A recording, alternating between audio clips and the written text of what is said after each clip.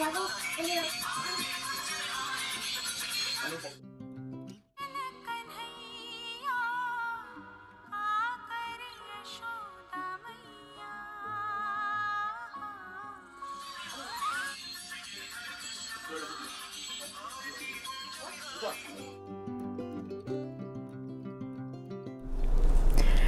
Hello everyone मैं हूँ अर्चना और आप सभी लोगों का स्वागत है simple living and cooking Indian mom in USA में।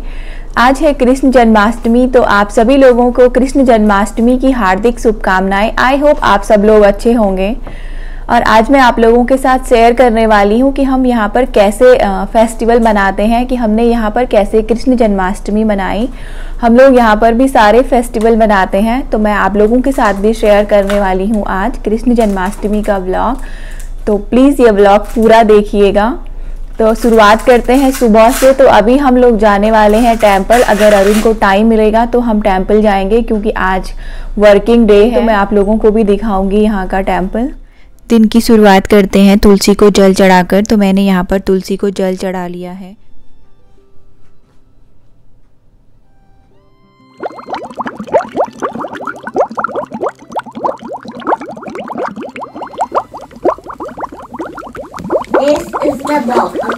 छोटी छोटी।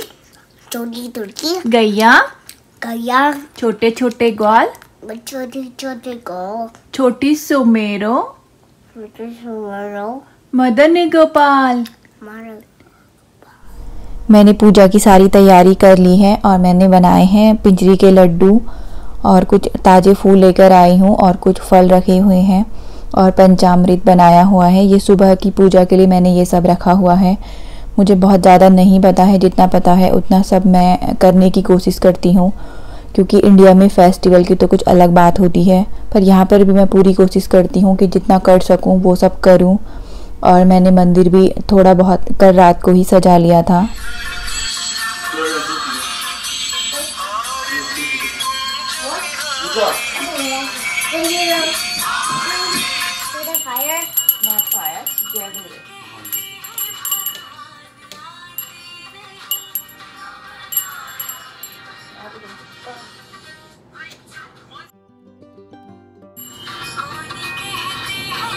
आरती कैसे लेते बेटा? हम लोगों की पूजा हो चुकी है घर में और अब हम लोग जा रहे हैं मंदिर। तो ये मंदिर हमारे घर से 20 या 25 मिनट ही दूर है।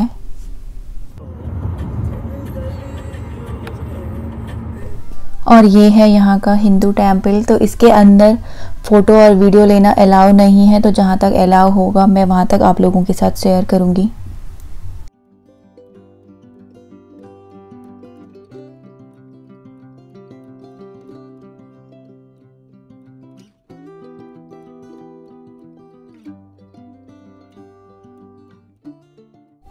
मंदिर के अंदर इस तरफ़ शूज़ रखने के लिए शू रैक्स और स्वेटर जैकेट रखने के लिए हैंगर्स हैं और दूसरी तरफ़ हैंड वॉश और पैर धोने के लिए पानी है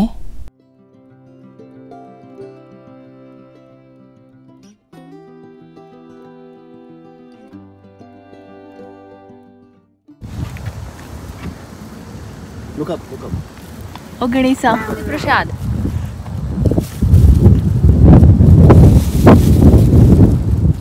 हम मंदिर से वापस आ चुके हैं घर और अब मैं करूँगी आहान का फ़ोटोशूट मैंने आहान के लिए थाली बना तो ली है लेकिन अब देखते हैं आहान कृष्णा बनता है कि नहीं बनता है। अभी हमारी सुबह की पूजा हो गई है अब हम आहान को बनाएँगे कृष्णा। है ना? आना बनेगा कृष्णा? आना के मूड पर डिपेंड करता है आना बन भी सकता है नहीं भी बन सकता है। अगर बनेगा तो अच्छी बात है नहीं बनेगा तो भी अच्छी बात है। है ना आना? बनेगा कृष्णा? या ओके थैंक यू चले फिर कृष्णा बने।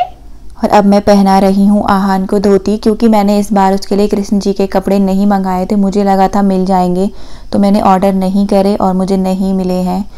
तो मेरे पास एक येलो कलर की धोती थी और एक पिंक कलर का दुपट्टा था तो मैंने दोनों के कॉम्बिनेशन से ही उसके लिए एक ड्रेस बना ली और पॉपकॉर्न की माला और पॉपकॉर्न की ब्रेसलेट बना ली है। यहाँ पर यही छोटी छोटी चीज़ें होती हैं जो इंडिया की बहुत याद दिलाती है फेस्टिवल के टाइम पर क्योंकि इतनी ज़्यादा चहल पहल नहीं होती है यहाँ पर और वैसा नहीं हो पाता है और ये मैंने पेपर और सी सेल का मुकुट बनाया है उसके लिए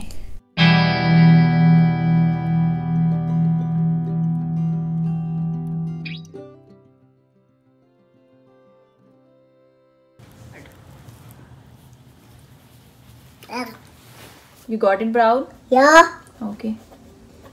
That tree is like, look. Yeah. That's, that's, that tree's trunk. Tree trunk is brown? Yeah? Good. What else thing is brown? What? This. No, it's green. It's olive green. It's not brown. It's olive green. This is a little bit brown.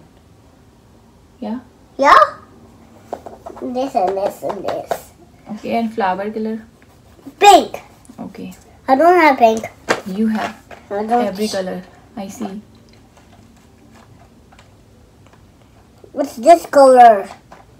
This color. This is red. It's pink red. Pink is this one. It's pink. Also pink. like pink red is this one सारा काम हो चुका है आहन का photo shoot भी हो गया है हम मंदिर से भी आ गए हैं तो अभी मैं आई हूँ किचन में डिनर की प्रिपरेशन करने के लिए तो क्योंकि आज तो बिना प्याज, लहसुन के बनेगा तो इजी हो जाएगा बनाना, लेकिन मैं अभी से थोड़ी थोड़ी तैयारी कर लेती हूँ कि क्या क्या बनाना है, क्योंकि आहान अभी टीवी देख रहा है, वरना वो बहुत परेशान करता है, कुछ करने नहीं देता है। आज मैं डिनर में साइड डिश के तौर पर एक बनाने वाली हूँ बटर मिल्क के वड़े। बटर मिल्क के वड़े बनाने के लिए मैं सबसे पहले बटर मिल्क बनाऊँगी तो मैंने यहाँ पर एक कप में मिल्क लिया है, जिसमें मैं लेमन ऐड कर दूँगी। लेमन और मिल्क को मिक्स करने के बाद मैं इसे 40 सेकंड के लिए माइक्रोवेव कर लूँगी।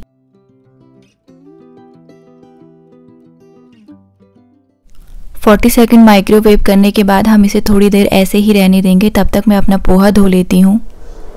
मैंने एक बोल पोहा लिया है और मैं इसे वॉश कर लूँगी।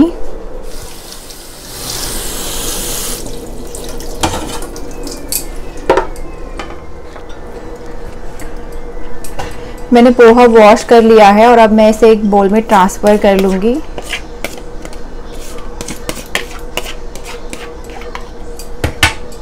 और इसमें मैं जो बटर मिल्क बनाया था, वो ऐड कर लूँगी।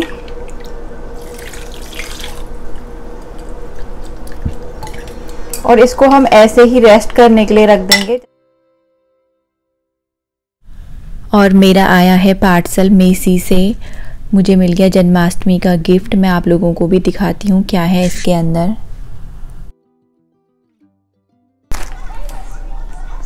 मैंने कुछ दिन पहले मेसी स्टोर से एक केल्विन का पर्स ऑर्डर किया था और वो आज जाके आया है। तो मैं आप लोगों को दिखा इसका ओरिजिनल प्राइस है 98 डॉलर मतलब साढ़े सात हज़ार रुपये और ये जो मुझे पड़ा है 58.80 मतलब 59 डॉलर। बिना टैक्स के और टैक्स के साथ 65 तक पड़ा होगा मतलब पाँच हज़ार रुपये का पड़ा है पूरा। 40 परसेंट ऑफ़ के बाद तो नॉट बैड जो अच्छी डील पड़ा होगा। मतलब पाँच हज़ार रुपये में पड़ गया तो इस पर्स में मुझे ढाई हज़ार रुपये का फ़ायदा हुआ है, फोर्टी परसेंट ऑफ़ के बाद। और ये दिखने का भी अच्छा पर्स है, और इसमें एक बड़ा पॉकेट है अंदर से, और इसके साइड से दो छोटे छोटे पॉकेट हैं, और एक चेन वाला पॉकेट भी है। तो अच्छा है ऐसे, ये साइड पर्स है। और मैं बहुत दिन से इसका वेट कर रही थी तो फाइनली ये आज जन्माष्टमी के दिन पहुँचा है। और ये जो डील थी ये बहुत ही अच्छी डील थी कि ढाई हज़ार रुपये बच गए मेरे। साढ़े सात हज़ार का पड़ता तो अभी मुझे पाँच हज़ार का पड़ गया है तो या इससे अच्छा कुछ नहीं हो सकता।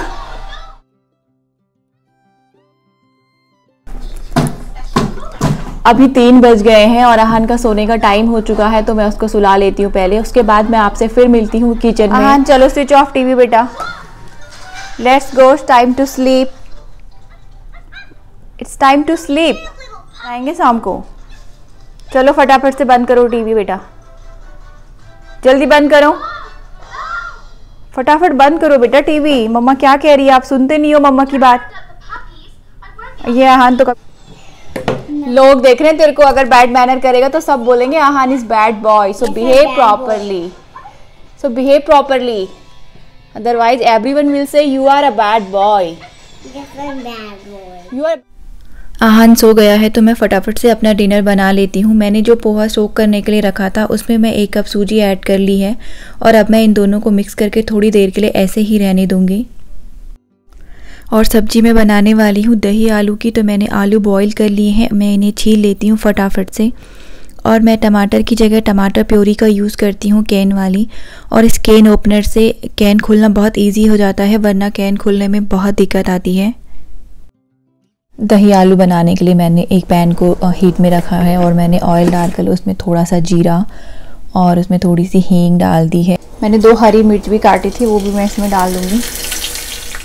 अगर मैं मसाले डायरेक्ट डालूँगी तो वो जल जाएँगे क्योंकि प्याज नहीं डालना है तो मैं मसालों को पहले पानी में भिगो लेती हूँ। मैंने वन टेबल स्पून धनिया पाउडर वन टी स्पून जीरा पाउडर हाफ़ टी स्पून हल्दी powder half teaspoon red chilli powder और थोड़ा सा नमक लिया है।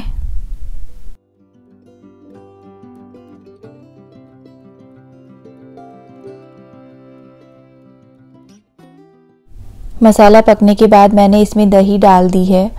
मैं दही को लगातार चलाती रहूँगी, नहीं तो दही फट जाएगी। दही मसाले के साथ अच्छे से पक गई है तो मैंने इसमें थोड़ा सा गरम मसाला डाल दिया है और उसके बाद मैंने बॉईल किए हुए जो आलू हैं, वो भी इसमें डाल दिए हैं। मैंने आलूओं को मैश नहीं किया है, बस छोटे छोटे टुकड़ों में तोड़ दिया है। आलू मसालों के साथ अच्छे से मिक्स हो गए हैं तो मैं इसमें थोड़ा सा पानी डाल दूँगी ताकि जो हमारी सब्ज़ी है वो सूखी सूखी ना हो और सब्ज़ी में थोड़ी ग्रेवी भी हो।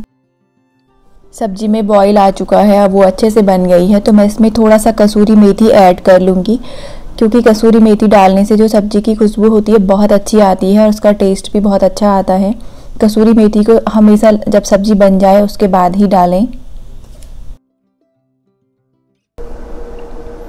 दूसरा मैं बनाने वाली हूँ दही भिंडी क्योंकि कृष्ण जी को दूध वाले आइटम ही ज़्यादा पसंद थे। मेरे पास यहाँ पर मक्खन तो नहीं है इसलिए मैंने सारे जितने भी आइटम मैं बनाने वाली हूँ सब दही भिंडी बनाने के लिए मैं पहले भिंडी को ऑयल में फ्राई करके निकाल लूँगी।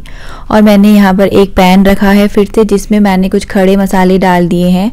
और इसके बाद मैं नॉर्मल भिंडी में जो मसाले पड़ते हैं turmeric powder coriander powder red chilli powder और सॉल्ट डाल दूँगी और इन मसालों को अच्छे से पका लूँगी। जब मसाले अच्छे से पक जाएँगे तो उसके बाद मैं इसमें जो मैंने दही फेंट कर रखी थी, वो डाल दूँगी। और दही को डालने के बाद लगातार हिलाते रहना है, वरना जो दही है, वो फट जाएगी। और अब मैं बनाने वाली हूँ मटर पनीर, क्योंकि आहान को पनीर बहुत पसंद है, इसलिए मैं जो बना रही हूँ, मटर पनीर बना रही हूँ। मैंने पनीर को क्यूब में काट लिया है यहाँ पर, आधी पनीर को। और आधी पनीर मैंने ऐसे ही रखी है, क्योंकि बहुत और ये जो बचा हुआ पनीर है, अगर हम इसको ऐसे ही फ्रिज में रख देते हैं तो ये साइड से टाइट हो जाता है। तो इसलिए हम इसमें इसमें, मैं इसमें जो ऑयल डाल देती हूँ साइड से। और इसके कॉर्नर में जहाँ से हमने काटा था, उस कॉर्नर में ऑयल लगा देना है अच्छे से। और उसके बाद उसको फॉइल पेपर में रैप करके रख देना है। इस साइड से तो जो पनीर होगी, वो पनीर के जो कॉर्नर जो कटे हुए कॉर्नर होते हैं, वो इससे टाइट नहीं होते हैं और पनीर सॉफ्ट ही रहती है। तो मैं इसको ऐसे पैक करके रख लूँगी तो ये टाइट नहीं होगी। मैं मटर पनीर के मसाले की रेसिपी शूट नहीं कर पाई क्योंकि आहान उठ गया था और मीठे में मैं बना रही हूँ सेवैयाँ। सेवैयाँ बनाने के लिए मैं उसको पहले घी में रोस्ट कर लूँगी। मैं ऑलरेडी रोस्टेड सेवैया यूज़ कर रही हूँ, लेकिन इसको एक बार फिर से घी में रोस्ट करने से इसका टेस्ट और अच्छा आएगा। तो मैं इसलिए इसे एक और बार रोस्ट कर रही हूँ और इसके बाद मैं इसमें दूध डाल दूँगी। जब तक पनीर और सेवई बनती है, तब तक मैं बड़ी की तैयारी कर लेती हूँ। तो जो मैंने पोहा भिगो कर रखा था बटर मिल्क में, उसमें मैंने थोड़ा सा चावल का आटा, हल्दी और रेड चिली पाउडर सॉल्ट थोड़ी सी हींग, गरम मसाला और उसमें एक हरी मिर्च काट ली है। मैंने मिक्सचर को मसल कर उसका डो बना दिया है, जैसे रोटी बनाने के लिए बनाते हैं। और इस तरफ़ मेरी सिवई भी बनकर तैयार है तो मैं इसको थिक करने के लिए, इसमें थोड़ा सा नेस्ले का कुकिंग मिल्क मिला रही हूँ। और मैंने कुछ ड्राई फ्रूट्स काट कर रखे थे, मैं वो भी ऐड कर दूँगी और थोड़ी शुगर भी डाल दूँगी। तो जो हमारी सिवई है, वो बनकर तैयार है। अब मैं बना रही हूँ भोग के लिए पिंजरी। तो मैंने एक पैन में घी गरम कर दिया है और उसमें थोड़ा सा आटा मिला लिया है। मैं आटे को घी के साथ लो फ्लेम पर रोस्ट कर लूँगी। हाई फ्लेम पर आटा जल जाएगा और जब आटा रोस्ट हो जाएगा तो मैं इसे निकाल कर इसमें सौंप और शुगर ऐड कर लूँगी और थोड़ी सी ड्राई फ्रूट्स डाल दूँगी। तो भोग के लिए पिंजरी भी बनकर तैयार हो चुकी है। तो इसके बाद बारी है राइस की। तो मैंने राइस बॉईल करके रख लिए थे और अब मैंने एक पैन रखा है जिसमें मैं ऑयल डालकर जीरा डाल दिया है मैंने थोड़ा सा। और इसके बाद मैं इसमें थोड़ा सा पीनट डाल दूँगी। क्योंकि मैं पीनट राइस बनाने वाली हूँ। मैंने बॉईल किए हुए राइस भी मिला लिए हैं तो पीनट राइस बनकर तैयार है और अब मैं बनाने वाली हूँ वड़े। तो मैंने यहाँ पर डो की एक लोई ली है, जिसे मैंने हाथ में फैला लिया है और बीच में एक होल कर दिया है। मैं इसी तरह से सारे वड़े बनाकर रख लिए हैं मैंने। अब मैं एक एक करके वड़ों को ऑयल में फ्राई कर रही हूँ और जो वड़े हैं बहुत ही अच्छे से फ्राई हो रहे हैं और बहुत अच्छे लग रहे हैं। तो बटर मिल्क वड़े बनकर तैयार हैं। और अब मैं बना रही हूँ पालक पूरी तो ये भी बन गई हैं। बहुत लेट हो गई थी तो मैंने पूरी रेसिपी शूट नहीं करी है इसकी।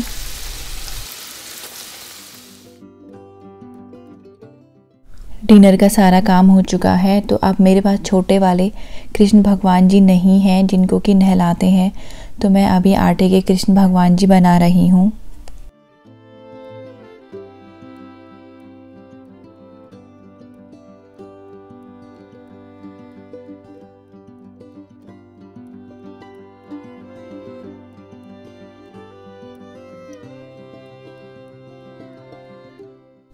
आटे के कृष्ण भगवान जी भी बन गए हैं और पूजा का टाइम भी हो चुका है तो हम लोग पूजा कर लेते हैं पहले।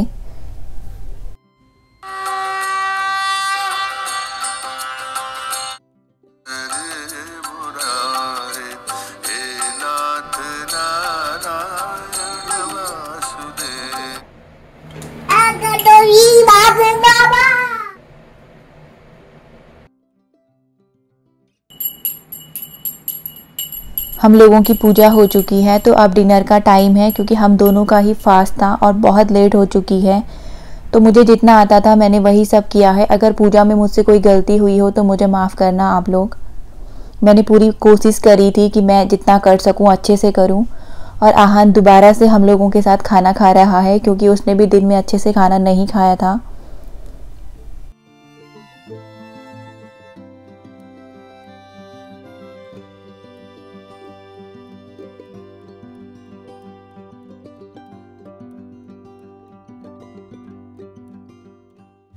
आई होप आप लोगों को ये व्लॉग अच्छा लगा होगा। अगर अच्छा लगा है तो please like share and subscribe my channel